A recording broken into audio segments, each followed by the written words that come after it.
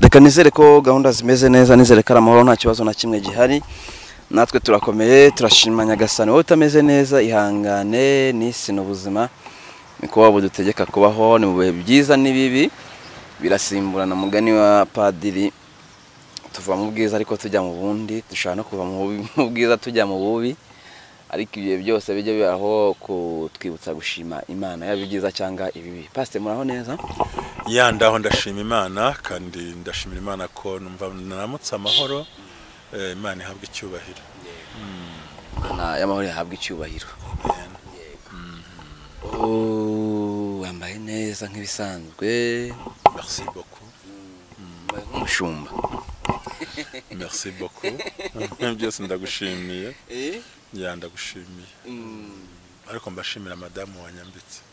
Niwe wampitiyemo ya ya pasite reka dutangire ikiganiro dusenze. Birakoze cyane. Turagushimiye. Uwera wa Isiraheli mana y'amahoro tugushimiye ko utwemereye ko tugiye gukora kino kiganiro cyiza gifasha imitima ya benshi uturinde ibitekerezo byacu bwite bidashorowe n'amavuta y'imana uturinde imvugo yakomeretsa uturinde ibyabangamira abantu kandi mwami uzafungura kino kiganiro wese azahabwa umugisha azunguke byinshi kandi mwami uko unywa twungure kutugereza muri byose tusabye ko imbaraga Yesu tuzenguruka baze mu bahunge mu izina rya Yesu Kristo umwami wacu. Amen. Yeah. Murakoze cyane kudushyira imbere y'imana ah, reka tuganire. Yego muranganira namwe ibiganiro byinshi bitandukanye hari ibyisubiramo ubu ndavuga ingingo zishobora kwisubiramo bitewe n'impamvu runaka ariko uno munsi ndakeka ibyo tugiye kuganira atari ibyisubiramo bishobora kuba bishya. Byari kugusubiza.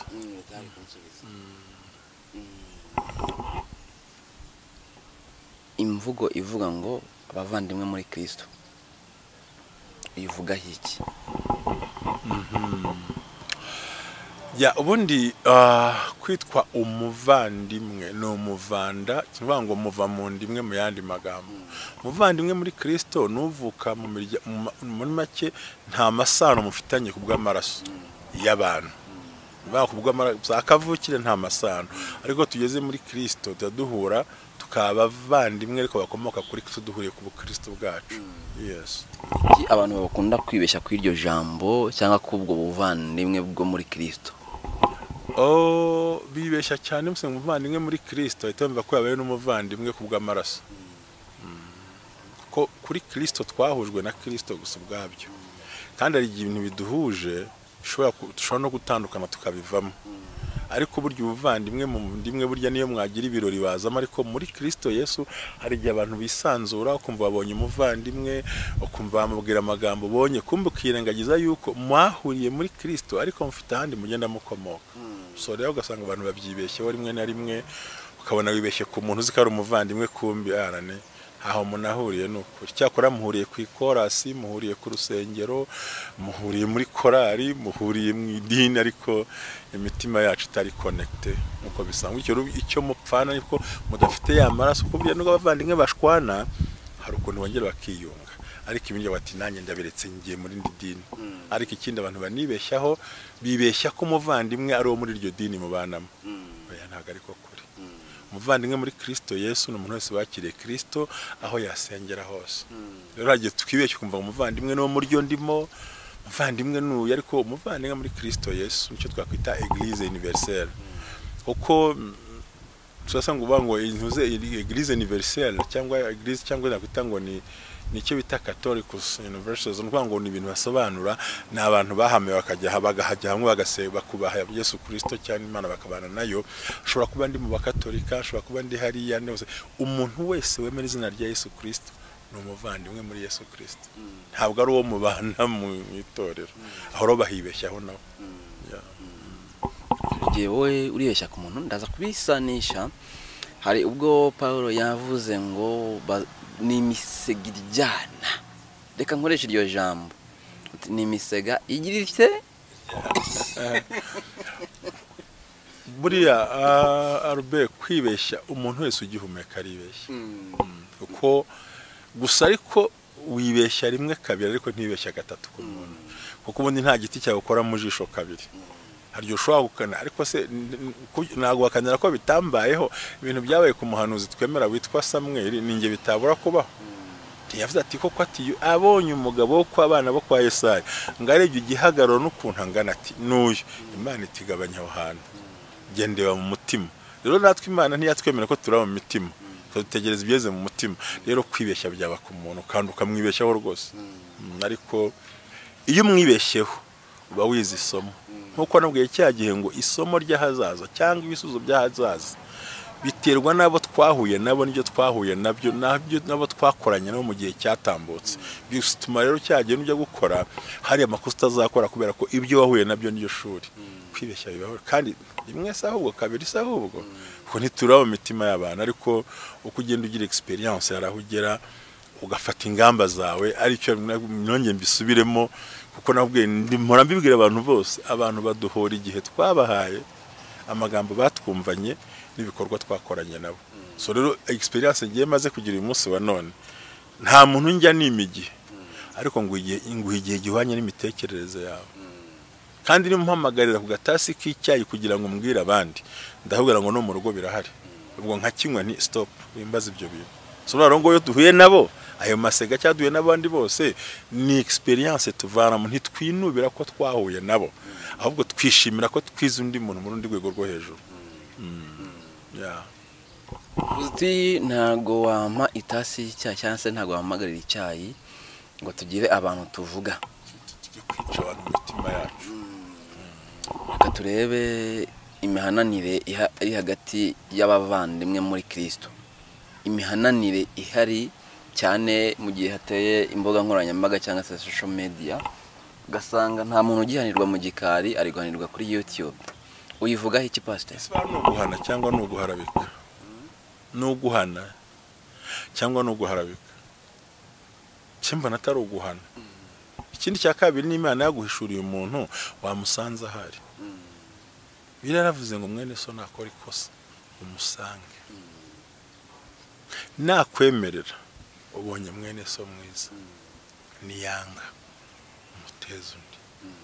Niyanga umuteze batatu niyanga umuteze itorero nana n'igitorero umushyire hanze. Rero umuntu utavuganye nawe. Umuntu utagiye ngo umuganirize wumve ibye. Ni gute uje gushyira in public. Ariko nkabumva rimwe na rimwe bikorwa nko gucuruza ntabwo ngombwa ko ikinyamakuru runaka ntabwo cyanze izo views. Kuko akadolari karinjira akayero karinjira so tugomba gutandukanya ah, harimo uburyo njyanye nka komporo nk'eshatu. Icya mbere hari umuntu yumva aje kwitwikira ku mpamvu ze akivugira. Akavuga nyine cyangwa akamariramo volume yari afite kuri uwo muntu akayishyiramo kweri. Ariko nawe ufite cano yawe uti iyi nkuru ntiribuncike kuko turabizi twese views nyinshi tuzi icyo zivuze. Amasaha menshi tuzi icyo avuze.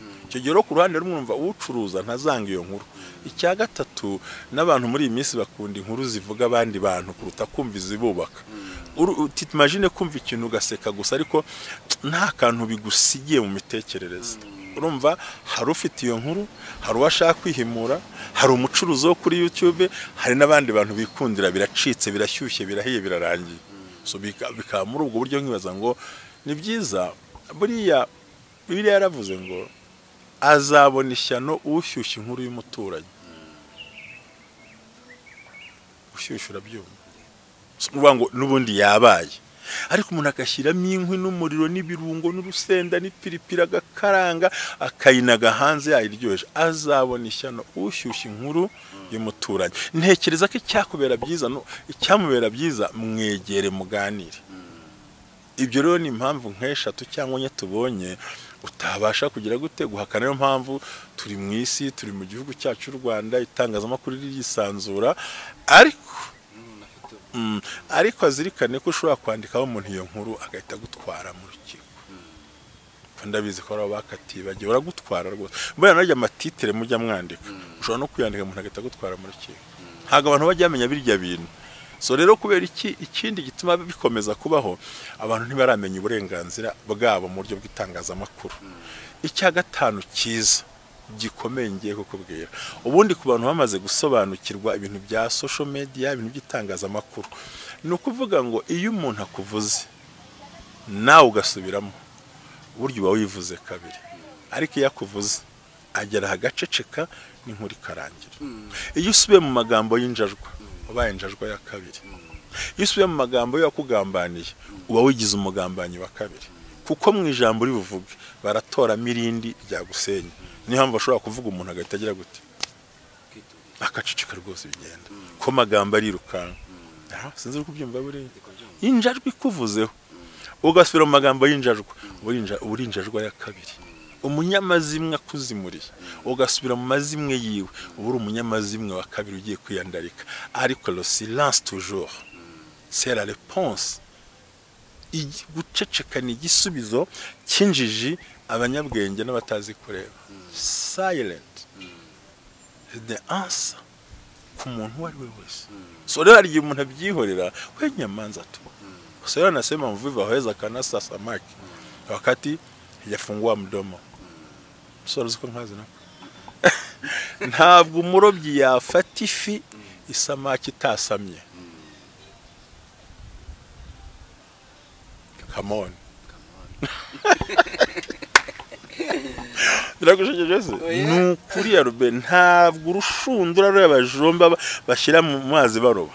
Isamaki itasamye ntabwo wayifata hawezi kanasa samaki kabisa. Hawezi. Eh! ariko ufunguye umunwa tu kidogo. Isi irakubona so reka bavuge waceceka ari byo nakora izo factors zibitera byose harimo ubucuruzi harimo kudasobanukirwa harimo no, no kugira ngo umenyekane ariko bibiliya ivuga neza ngo nta muntu ukomezwa no gukora nabi. Ntushobora kuzamenyekana hejuru y'imvugo y'umuntu wavuze. Ashobora kubona ukundi kandi ikindi biriya tubwira ngo uko wagenje abandi niko uzagenzwa. Umuntu yagombye kwitonda rero. Ariko kubera bizinesi izo fagitire zose nagiye nkubwira impamvu nyinshi cyane n'ibindi ariko ofira mezire wa muntu ugira bya bintu byinshi hari n'igihe ubona azimye kandi yagombye kuba yakahatinze. Ntabwo tugomba kwigira abanyentambara buri gihe ibintu byose bikaba intambara. Nta gihe bigira n'ibisubizo ariko buriya ibintu byose ni bibi cyane ubu social media tuyite mbi youtube tuyisebye tu- nta byiza bihari. Ubu nta bantu bubatse ubuzima bashingiye kuri youtube nta bantu bise ibiganiro ubuzima bugahinduka. No, no benshi baranahari kandi n'imiryango irahari. So rero ntabwo abafata imirongo bigire bibi rwose. Biriya ni impamvu. Kandi ikindi ah, imivugire y'umuntu iba ishingiye kuri we ku giti cyiwe so bitekeye imitekerereze ye ndabikwatekereza. Ariko by'ukuri burangiye nkubwire nku- nkubwije ukuri ndi imbere kuri baraka. Umunsi wumvise navuze umuntu. Uzamenye ko nananiwe dufite ibira yo kuvuga ahubwo ko mvuga umuntu mu ntege nke ze nahagarara hari intege nke ziwe nkamushyigikira. Bitavuze ko undi yandasa. Ariko kugira nanjye mfite foro umwambi murasa. Njye nakwikuriramo umwambi ngacuruna ngateceka kuko uvuga cyane. Ni nawe useba cyane. Ni nawe ugonga urukuta cyane. Ariko ucecetse. Ntabwo ushobora kumenya ahantu aherereye.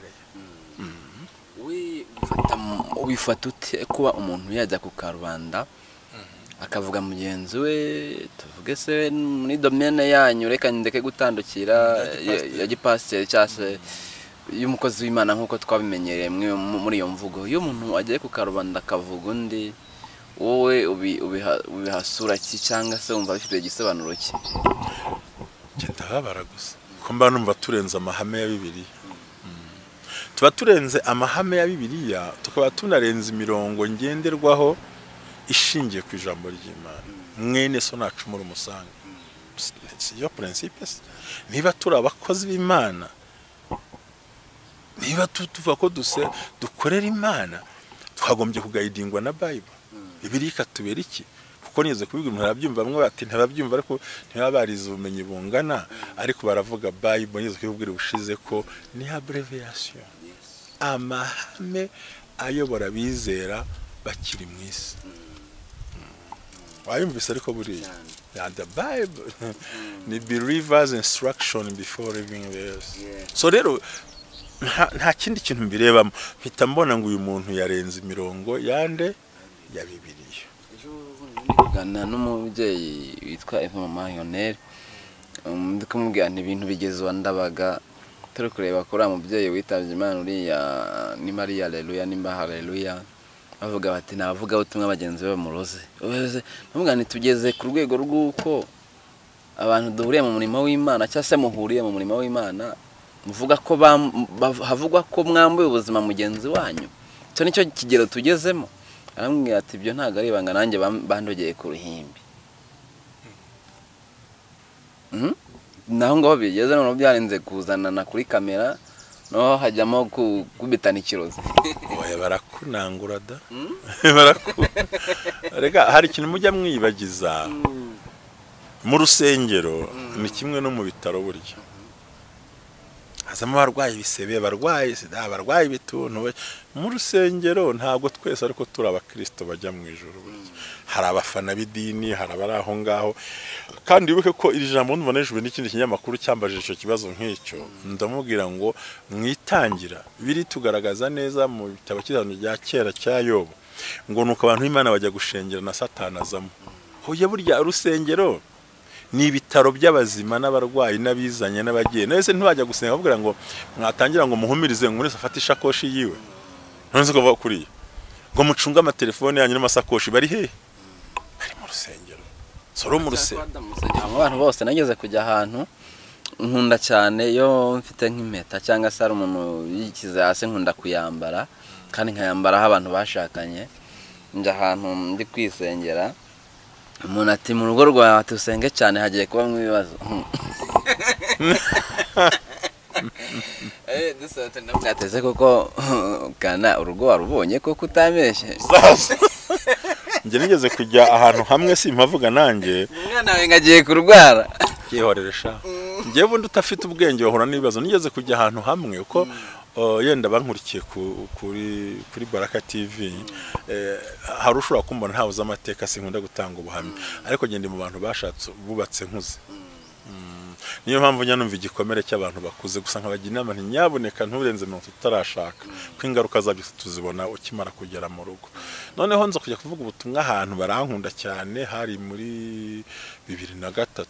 No, no, no, hari muri bibiri na karindwi hari bibiri na gatanu aho ngaho ndi hafi mu myaka mirongo itatu n'icyenda niba yarebye igihagararo cyanjye nuko nteye amaze kwitegera niba yarebye uko nteye nuko meze ako kanya ahita avuga ati imana iravuze ngo umwana wa kabiri imana imurinze urupfu kandi uwa gatatu aziga muri canada ndamwihorera tugeze hanze namubwira nti abajije neza imana. Yarebeye ku gihagararo kuko abantu benshi n'ubu ngubu ugiye nta mpeta n'ubu mfite. Ariko ugiye kuba ntayambaye si uko ntayikunda? Narayikundaga mpita. Wanze kumbaza uko byagenze. Nta- nkuru nkomeje ndabiretse. Kereka iyo mbaza uko byagenze. Utayimbaje ndabiretse ntayo mfite kubera impamvu. Numvaga ari ubuzima buri pirive mu rwego tugezemo umuntu aravuga. Urumva jyewe twakoze mariage umva tuza kugira tujya mu bukene. Kandi yari yari gold pure yari pure gold. Zahabu nziza cyane. Ndahimbwira madamu nawe turakennye reka yikuremo tuyigushe tubashe kubona ubuzima. Ibyo ku isi bibaho n'ubundi ahantu hose. Rero kugera uyu munsi ntarabona zahabu nk'iyo. Ntabwo napfa gushyiraho bya miringa rwose.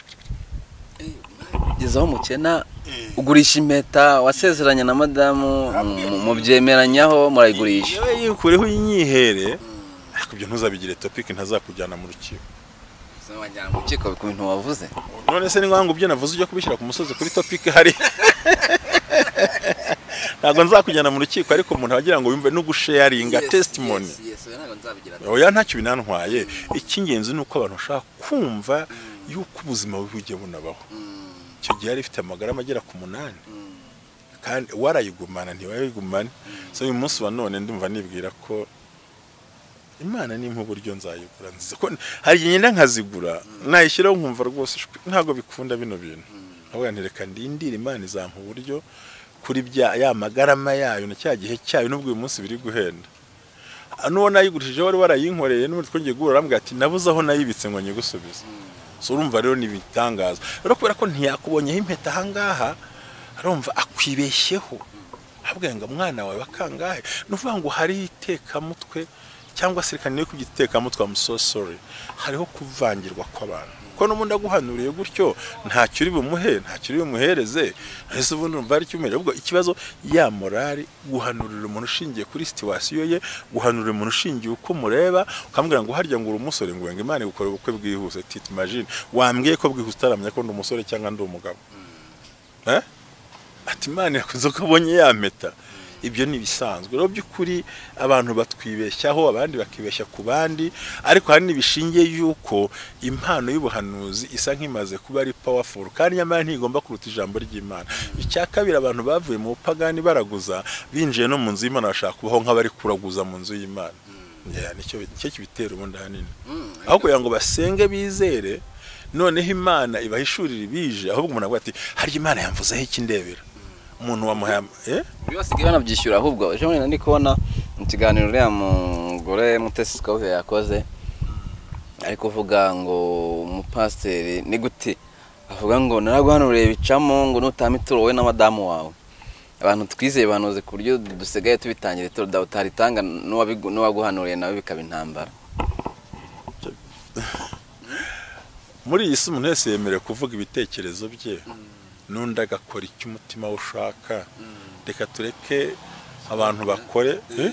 oya no. Wajya uvuga ngo? Ngo sikovi iki? Arivugira abantu benshi bamwita ngo ingare kubera yivugira ariko nkunda n'ibitekerezo bye. Nkunda uburyo avuga ibitekerezo bye. Oya nkunda nkunda ibitekerezo bye burya njyewe nta kiganiro na kimwe cye ntashobora kutareba kuko hari ibintu nkuramo amayerema ko buriya mu bintu nasobanukiwe uko wirinda kumva ukunyurana kw'ibitekerezo by'abantu niko utabasha kubaka n'ibyawe kandi rimwe na rimwe si byiza ko uzategereza ko wumva ibitekerezo wumva ukeneye. Ahubwo na bya bindi wumva udashaka kumva byumve kuko harimo kubaka ibindi bintu bidasanzwe. Ibyo avuga ni ukuri koko.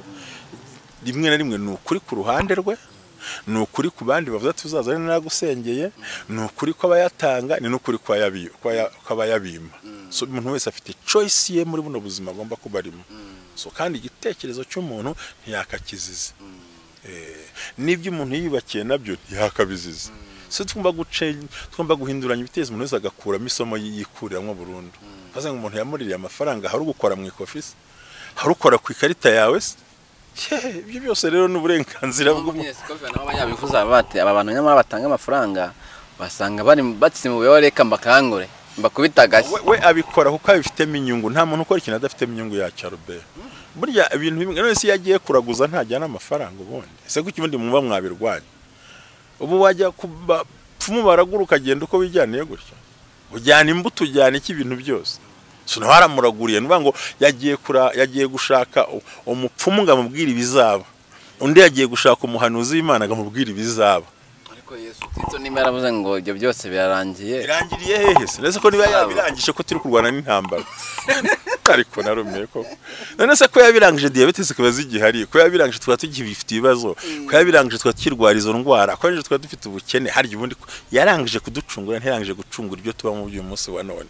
Nawe ntiyagiye kuraguriza kujya mu ijoro yagiye kuraguriza kugira gute kubona ubuzima bwo mu isi. Na wa mu kirisito wamanutse nawe ntiyagiye guhanuza uko ko azajya mu ijoro yagiye guhanuza ku buzima buri imbere ko turi mu isi y'abagome y'abarozi bangana n'iki? Yagiye gushaka intsinzi. Uko wayishakira mu bapfumu n'abishakiye hehe kandi umuntu ukora ku gicaniro atungwa n'ibiri ku gicaniro. Byose bafite ukuri. Ari we afite ukuri? Bose bafite ukuri kwabo. Ariko hagombye kubamo kwirinda byo natwe tubigarukeho. Umuntu akabanza akagira bwa bwenge. Neza ariko? Ntabwo baraguriza kujya mu ijoro nta nubwo bajya no guhanuza ubuhanuzi kugira ngo bajye mu ijoro kuko yesu yagize gute? Yarabirangije. Ariko ibibazo bindi bisanzwe bisaba izindi mbaraga runaka.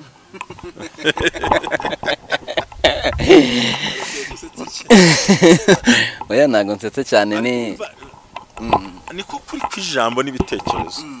Niko kuri kw'ibintu tubamo ni uko ibintu yesu yarangije ni ukuducungura. Ariko turacyahanganye n'ibibazo byo mu isi. Mm, duhanganye n'ababisha duhanganye n'abagome duhanganye n'abahiga duhanganye n'abakubita duhanganye n'abavuga. So still tukihanganye n'ibyo bintu rero ujya kugira ngo ashake umupfuma muragurire abagira ngo mubwire mu by'ubu buzima arimo. N'ujya gushaka umunyamasengesho w'umuhanuzi nawe abagira ngo mubwire iby'ubu buzima aherereyemo. So numva rero umuntu mu bitekerezo bye n'umugambi we. Icya mbere ni ukugira ubwenge mu byo ukora. Mm, murakoze. Ubwo wagira ubwenge mu byo ukora gute? Uwo ari we wese. Umuhanuzi reka barantekereza ko ikibazo ugomba kugira ubwenge mu bintu ukora. Amafaranga ndayatangira ikindi abigenza byose ukabigiramo ubwenge. Kandi iyo ubuze ubwenge imana irakureka umurongo ariko abantu bajya bavuga muri bibiliya. Ra- ngimana eh? Cyane cyane. Tumva uba muri kamanza ari muri hose yerekana. Ubwoko bwanjye buzize. Kutagira ubwenge ubwo ubuze ubwenge nanjye nzakureka. Birahari muri bibiliya. Ntabwo nakubwira ibitari muri bibiliya. Kenshi rero ndi kuganira na mariyoneri abantu bavuze bati umugore witwa ubundi ubwo mugo yakuba kandi abakozi b'imana bagenzi nibura se barakwegereye. Bakubwira ko bino bintu biteye n'umurimo w'imana kugira ngo bigende neza. Wabireka nibura? Ati hoya ntawanyegereye njya nibaza. Umushinga ntagusabye nk'ibitekerezo. Ni gute uza kunsakuriza mu gihe ndimo nkora ibikorwa byanjye. Niba ari isi igifaru ni uko azi ko ari cyo.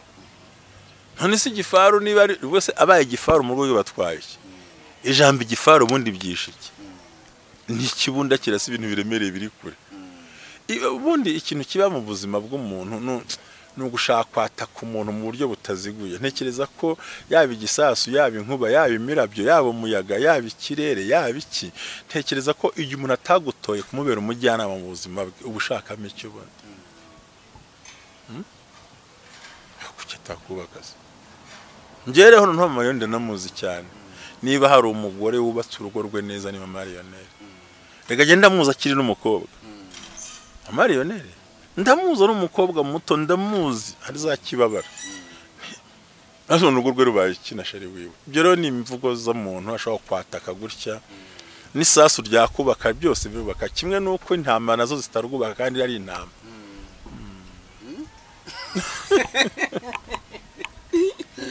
intama zanze kuyifa ariko ntiziri guhura ntizurwubaka kandi ukabona ari intama ziriyorobetse ziratera hareruya zigize utwana twiza zigize utama twiza zigize abagabo beza ariko imitima yabo ariko z'ubundi ubu. Ntabona ibifaru byarashe hano mu gihugu nuko tutabifite. Iryo ryivugire ntaryo mvuga icyo kubwira ko igifaru mu mama reka nkubwize ukuri. Reka nkubwire kuza ukuri uriya mu mama. Amariyoneri afite urebye aho imana yamukuye. N'aho imana imugejeje urugo rubi urugo udakorera urubonera ku mugabo cyangwa ukarubonera ku mugore. Yavuye kure ni igifaru cyarwanye n'ubukene kirahirimbana giti tegereza umugabo imyaka runaka arahirimbana agera aho ageze. Ariko urebye abana be urebye urugo rwe urebye ukuntu ameze ni umudamu uri Ha- ubwo nshatse kubivuga kuko mbizi neza. Ariko ntekereza ko nta muntu n'umwe ndi bwatake ariko mbere y'uko uvuga umuntu gerageza nibura utuze. Nta nta twita intama tubona nk'intama urugo rwananiye. Hari nabo tubona nka nk'izo mu ruhongore ariko ariko washishoza ugasanga intama zinjiranye n'ibirura. Mm, so rero nta ntacyo bitwaye ibyo bintu. ariko narumvise ngo impamvu biba- nyine ngo niba babyita ngo kwirehereza intama no gushaka ituro kugira nyine bamwe ubegezeyo ubundi rero usigare widagadura wenyine. Umuntu uzaguha ituro ntagomba kubigijeyo abantu bose ubundi uwo ni umwuka navuga ngo ni umwuka wo gusuzugurana. Niba umuntu yiyubakiye amateka yawe wakubatse ayawe utagiye kurwanya yundi. Biroroshye ariko. Eh, byo ngo ni amayeri. Ese wayo mayeri arakunaniye ntabwo ngo kanaka ngo buranga ibintu akoresha ngo yavuye ikuzimu. Aho kugira ngo urakaze uko mpunze nawe wagiye ku kuzimu ukajya kuzana ibyo bintu urinda wakena uvuga amagambo wagiye nka kwere. So urumva rero ni ibintu biba biri aho bisirikira biba bifitemo kurwanyana ariko. Mm. ntacyo bibazo twigarukiye inyuma? Impeta mwaje kuyitanga nibura birakemuka mu rugo haboneka icyo kurya. Ntabwo cyari cyo kurya kwari gukemura ibibazo bijyanye n'inzu n'ibindi kandi icyo gihe byarakemutse. Reka bampaye menshi kubera naneguze menshi se n'ubundi. Mm. urumva muri bibiri na karindwi naneguze ibihumbi hafi magana abiri. By'icyo gihe? Bibiri na karindwi icyo gihe garama yaguraga ibihumbi cumi na kimwe. Ngira ngo uyu munsi kara igeze ku mafaranga ari hejuru Mm. Ariko ntabwo uzi ko ijoro rimwe ribaga imbyeyi. Rero. Iyo ukiri ku musozi wo gutegereza hari ibyo ukora. Mm. Yes. ariko pasite muri uno murimo w'imana abantu benshi bakunda kuvuga ngo twizere nde tureke nde koko? Icyo kibazo wabona buri ugisubiza ndumva ntekereza ko ni mu ijambo ry'imana rigaragara muri yeremiya ni we cumi ngo wizere umwana w'umuntu avumwe. Hari ikindi mbaza? Jya wemera umuntu ariko ntukamwizere. Wo kwizerwa n'imana yonyine. Ni simple word. Hari ikindi ntasubiza uwizera umwana w'umuntu avumwe. Ibindi mbaza ni ibi Erega no- abantu ntabwo ntabwo abantu turaba kwizerwa cyakora turaba kwemerwa nkujaho ngo uti ngewe ndumva nasimbuka iri etaje ahubwo n'iyo ndabyemeye ariko simbyizeye. Hanze usimbuke ndebe ko amagufa utayasiga hasi. Ahubwo ati ngewe nda- ndakubwiza ukuri ngewe ubu ngubu nduyu n'uyu n'uyu. Okay ndabyizeye. Ariko singize gute? Simbyemeye. Ko ntabyo nabonye. Eh, eh, so rero wizera umwana w'umuntu agire gute? Twe tugomba kwemera ko ntitwizere. Kuko urambwiye ngo ngiye nshobora kugira gutya nshobora gukora iki? N'iki nagiye hana nkabyemera. Ariko singire gute? Mbyizere ikize oya ndabyemeye ko nyine wabikora ariko se mbyizere gute? Ntabibonye yes. Reka tuvuge rero muri ino minsi. Hari kuba ah, ngeza ngo bageze kubimbwira imfuzamanzaganya Ah, n'ubundi twifuje ko twabigarukaho pasite ukwezi kwa gatandatu kwa gatanu kwa karindwi nk'uko mugeze kubidusobanurira impfu ziba zirimo ziterwa n'iki? Iyo myuka iba ihari nimba hari imyuka bavuga ngo gusaba ibitambo n'ibiki n'ibiki bigenda bite bikorwa bite? Umuntu yamenya ate ko ari mu bazagenda cyangwa mu batambwe? Ariko Robert koko. Robert Robert Robert Robert Robert Robert Robert Robert Robert ngo impfu zo mu kwa ryari? Njye nabivuze se? Ntabwo ari njye njye sinjya mpanura urupfu njye mpanura ubuzima. Oya. Ijambo ry'imana ryavuze ngo muhumurize abantu banjye. Mubabwire ibyururutse umutima.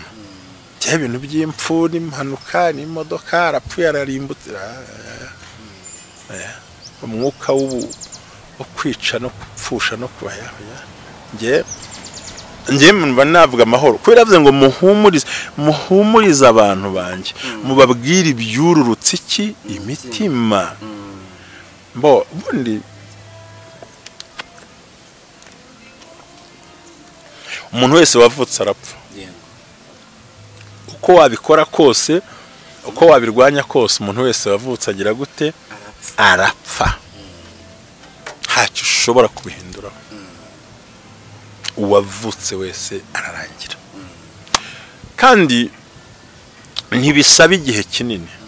Hari upfa avutse hari upfa amaze imyaka makumyabiri hari upfa amaze imyaka ni ukuvuga ngo hari upfa mu nzira ko bigaragara ko urupfu rwacu rwa buri munsi ntabwo twarugira ibintu by'ibitangaza n'iki ngo tubigire ukundi kuntu.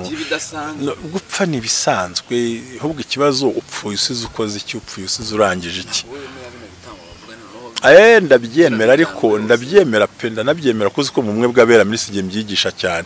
Ariko uburyo ubimbajijemo ubisobanuye waba uteye confusion. Ni ibintu usaba ko ukora ikiganiro cyabyo cyihariye. Ukandika ukareka muri uko havuga ukareka ko gukenyuka ari impamvu runaka none ubanza ukajya kureba muri generasiyo yabo cyangwa se icyo nakwita uko umuryango ukurikirana ese ba sekuru bapfuye bate base bapfuye bate waba bamera bate ibyo bintu ukakurikirana ukabanza kumenya koko bya bintu koko bifite aho bikomoka. Rero mu ijambo rimwe sinabisobanura gute. Gute ngiye baze ko maze kubyigisha hafi amezi atandatu ntararangiza. Ubu nabivuga mu ijambo rimwe koko? Ibitambo byo birahaba pe. Ndetse ndetse burundu hari n'abana bakora hari n'abatanga abana babo hari n'abatanga ababyeyi babo. Hari n'umugabo tugenda wice wa mwana mutoya. Byose barabikora ibyo bintu kurega turi mu isi irimo ubugome. Ariko hakaba n'abandi bantu nabo hakaba n'abandi bita ngo bafashe ngo bafashe imana gusarura. Niko babita ubundi mu kindi wa muntu bagenda bakaroga wa muntu wo mu rusengero ngo gufasha imana gucyura abantu. Ibyo na byo turabibona ko uburozi burahari ikindi hari impanuka ikindi hakaba n'abantu biyangiriza ubuzima bwabo. Kutirinda barya bitera ibishinge bya droge barya banywa bya biti banywa bya bintuze uzi ko kunywa biriya bintu ugenda ugabanya bwa buzima. So rero gupfa ni fagiteri nyinshi umuntu atapfa kwicara ngo yemeze uvuge ngo ni na porosantaje y'abana ibitambo porosantaje y'abana ibiyobyabwenge porosantaje y'abana indwara yo kutirinda. Kuko uzasanga kenshi usibye impanuka yakugeraho ariko usanga hari n'indwara zimwe ziva kuri indisipurine twe twifitiye ubwacu. Kutiyubaha kutirinda ugasanga umuntu ariroha mu bintu ngo arimo aratwika cyangwa ugasanga ari mu busambanyi ntazi ko ari buhuremo n'igikoko cya sida arimo arakoreramo inzoga ntazi ko ahora n'ibibazo inzoga zishobora kumwicira umwijima. So rero ntabwo twamenya ariko na byo ugasanga nubwo wa muntu wiyeguriye ubusambanyi wajya kure ugasanga mu muryango wabo n'ubundi icyaha cy'ubusambanyi wagira ngo niyo gihoraho. Icyo gihe nubwo ushobora kuidentifya ati byavuye ahangaha undi ugasanga mu muryango we wabo nta muntu wubaka urugo n'urwatsi arusinya mu myaka runaka. None ugasanga bya bintu bigiye bibaho noneho abantu bakabona bwa bugome bwo kwicana n'ibindi byose. Ariko wavutse warapfa. Rero ntabwo wapfa gusobanura ngo munsi ngo ibitambo ni runaka ngo nuko byafasha abahanzi ngo niko byafasha aba n'aba ngo hapfuye abana bato. Yego n'abakuru barapfa birumvikana ariko muri iyi minsi iyo ugiye kurabona rwose hagenda abana bato. Ngo ntagenda abana bato abantu bagikeneye kubaho tugikeneye ariko burya imana yamaze kubona ko misiyo yabo yarangiye aho umuntu yanyura hose misiyo irarangira. Kandi urupfu rwo ntituzaruhagarika kuko burya urupfu rugirwa n'ibintu bitatu bikomeye. Icya mbere ni ikizakwica icya kabiri ni aho uzagwa icya gatatu ni isaha yo kuhagwa. Bitatu bihuye rwose ucaho. Bicaho rwose.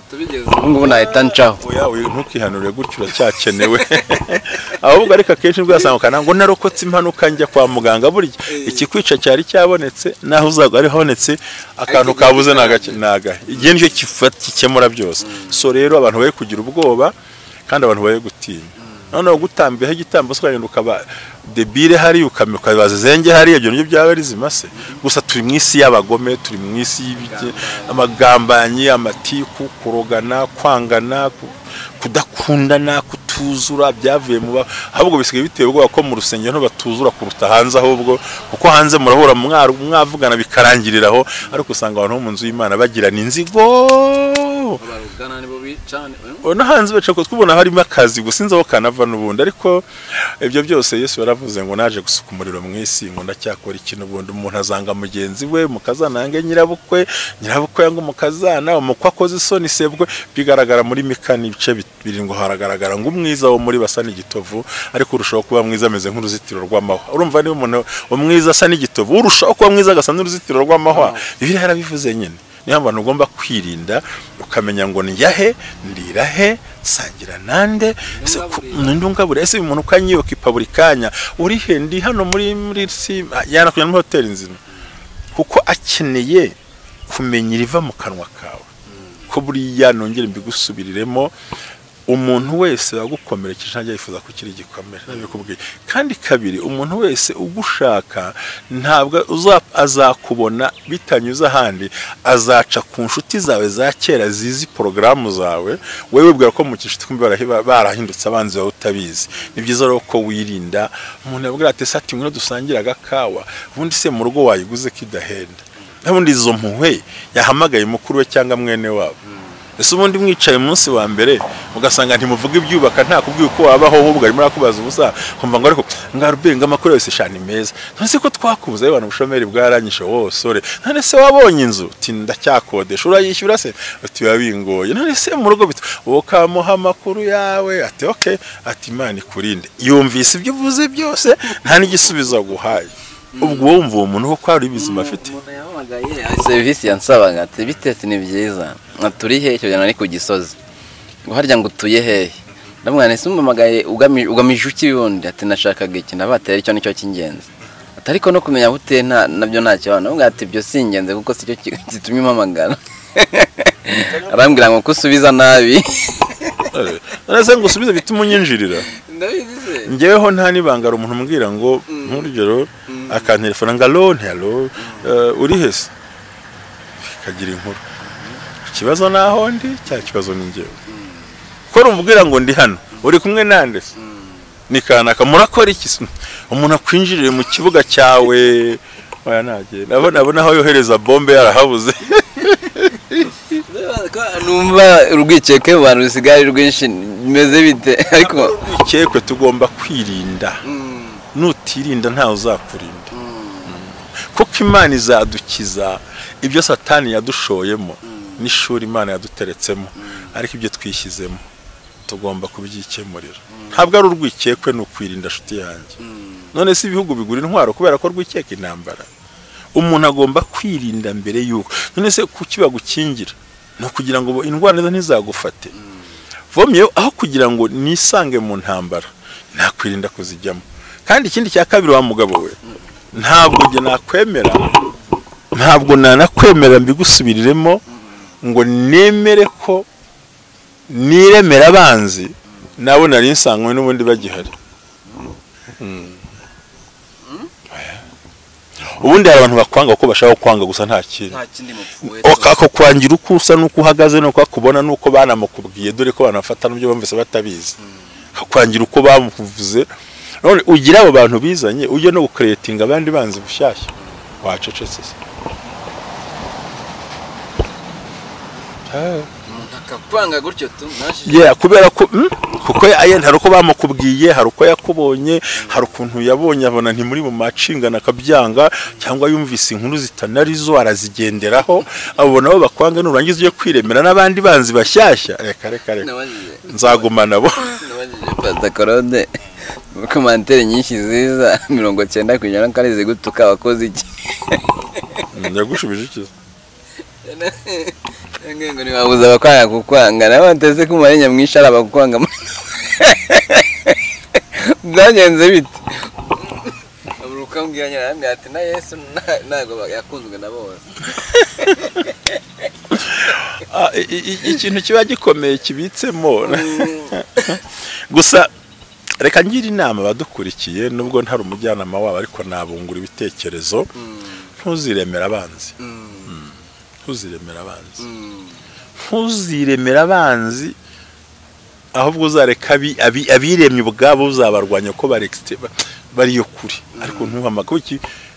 Urabahama. Eh, uzabaza none se kanseri ni iki? Si seri iba yongereye ku mubiri kandi idakenewe none se. Rero abantu wiremeye ni nka kanseri mu ma- mu maraso yawe. Byiza ugomba kubaho ugaceceka kuko badutegera kuri bya bintu. Burya ikintu cyitwa igiharube kiri mu bintu bitwambura amahirwe yo gukomeza kubana n'abantu. Umuntu umuha igihe gihwanye n'imitekerereze ye. Muha igihe gihwanye n'ibyo arimo akubwira. Nusanga akubwira ibintu bidafite gahunda. Acana naye ngo barandeba gute icyo bandeba ku niba umuntu akubwira ibintu by'uburofa kumwigizeyo. Niba akubwiye ngo urumva ngo runaka haruna bwenge ariko genda ndumva ibyo yamvuze ari bike. Shingiye ku byo asanzwe avuga. Uyu munsi yanshyiriye nk'imiyaga. Ubwo rero simba nkurangije utavuze amagambo menshi cyane. Ubuse urongera urenzeho iki? Kana karakwanga agenda amukunda kuko umuntu uzanye urushyi rw'amagambo. Aba ari butware shahu umufuka w'amagambo akuvanyeho. Ibyiza azana urushyi rwa rusubizeho n'amagambo ye. Kana kazi kakwanga ngenda amukunda yavuze gutya na gutya yavuze bike.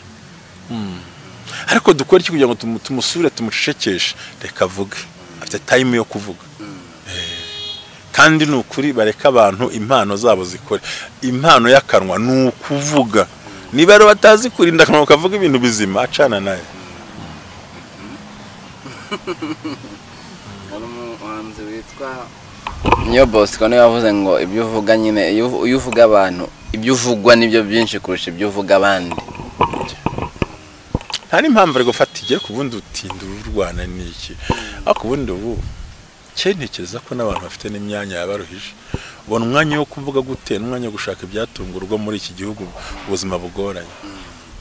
Pastor reka mbabaze ikintu.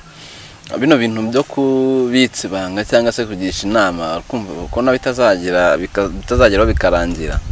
Ko nimba umuntu akuvuga nta cyawe azi nko wamaze kumubwira ibyawe noneho azavuga gute? Umuntu akuvuze kuko ari kugushakaho amakuru noneho wayamwishyiriye ugishije umuntu inama uti njye mu rugo bimeze gutya na gutya. Harimo abantu benshi bajya bambwira ngo ingo zacu zasenywe n'abantu kubera bamenye ibyacu. Aho babwiriraga iki se? Aho babwiriraga iki reka abantu ntibamenyere gusanga abakansara baganira hari abantu bafite izo nshingano zo kubika amabanga y'abantu. Bafite icyo twita bazi umwuga bawize. Cyane. Umuzungu ndabazanira vuba kuri Baraka TV wo mu Butaliyani uri gukora hano mu Rwanda ibintu bya bya kansaringi vuba cyane ndamubazanira rwose. Turabikora ariko. Dufite ubwo bushobozi turabikora. None se ibyo wanganije wari wabyumva hanze. Mu bantu bakurikira baraka TV umuntu wasanze muri ufite kuri telefone. Akambwira ibintu yari yabyumva hanze.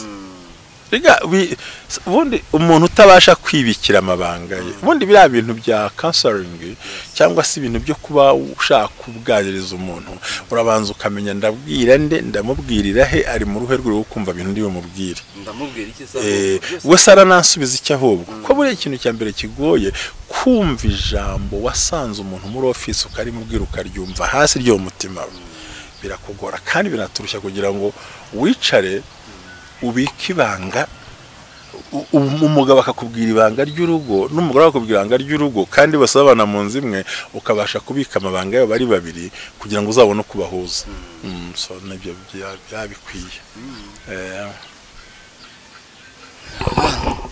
nakaremye n'ikamena n'ikamumba niba ari iki?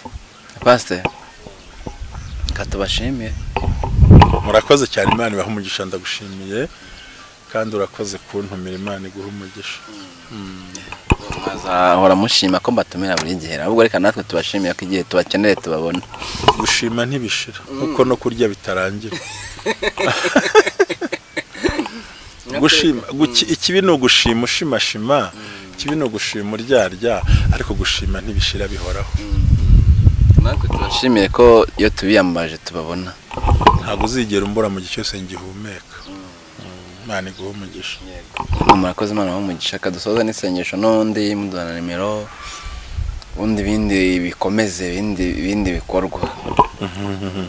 Abantu ko bumwe bw'abira minisitiri buhari bwashize atubwibutse ntabwo ari itora ariko na byo mu minsi iri imbere ryaza ntabwo ari ibintu bikanganye. Nabwiye ko nyine minisiteri byari itorero ntabwo bikanganye ikindi mbere y'uko nsenga nagira ngo nisegure ku badukurikiye kuba tutavuze nk'uko ubyifuza tubabarire kuba twagukomerekeje nawe tubabarire kuba twagushimije nawe wishime tubikora ku neza y'abantu kandi duciye bugufi.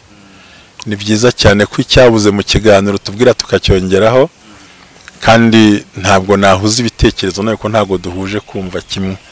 Amatekerezo ukunda ukwe ariko ibitekerezo byawe reka duhuze ibitekerezo tu ibitekerezo byacu bihangane ariko umuntu ye guhangana n'undi muntu ku giti cyiwe niyo mpamvu usigaye ubona tubaho duhanganye dushaka ko umuntu abaho nk'uko twe tubaho. Ntabwo ari byiza cyane ahubwo wabaza impamvu ugiye mvuze icyo n'undi ukagitekereza ukazana bya bitekerezo byawe nanjye nkazana ibyanjye tukabihuriza hamwe tukubaka ikintu gifatika.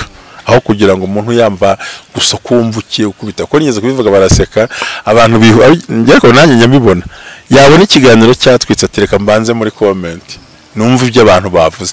Ubwo ni ugukunda utugambo n'ibindi bintu birako nyamara eh, ariko nyamara ugiye kumva content y'ikiganiro. Comment ntabwo ari content. Hoya. So rero nshuti yanjye wowe iki kiganiro kiguteyarereje ukumva ntugishaka tubabarire byari ibitekerezo byacu. Nawe gishimishije imana ikuguha umugisha ukomeza uduhamagare byigubwe neza. Nimero yanjye ni zeru karindwi iminani ibiri nk'uko wari ubimbwiye mirongo itanu na gatanu mirongo ine makumyabiri n'umunani. Bampamagare ndahari. Ku bumwe bw'abera ndahari ubishaka. Ujya unampiningira bakayibona. Ariko ubutaha ujya muri community nawe urabizi ngo tubatwara ariko abantu baba bajyana hese. Abantu ntaho umuntu abajyana. Burya nkubwiza ukuri uwimana yubatsemo igisubizo cyawe. Ntabwo kiyoba pe. Mm, reka dusenga imana tubiseguye mu buryo bukomeye. Kandi tugomba gutanga ibitekerezo. Kandi dushima iki ibitekerezo byacu. Dushimiye abantu bavuga ati uzadutumirize wa musaza azagira ikintu avuga. So imana ibaha umugisha. Turagushimye imana yacu ko twumvise turagushimiye ko tugiriye neza. Tanga umugisha mu buryo bwose tanga umugisha kuri baraka tanga umugisha ku kiganiro mwami imana. Amahoro n'umunezero bize kuri buri muntu wese kandi dukorere igikomeye kirenze umuntu yatekereza utwambika imbaraga mu buryo bwose. Turagushimiye ko ubidukoreye kubwa Yesu Kristo umwami wacu. Amen. Shalom.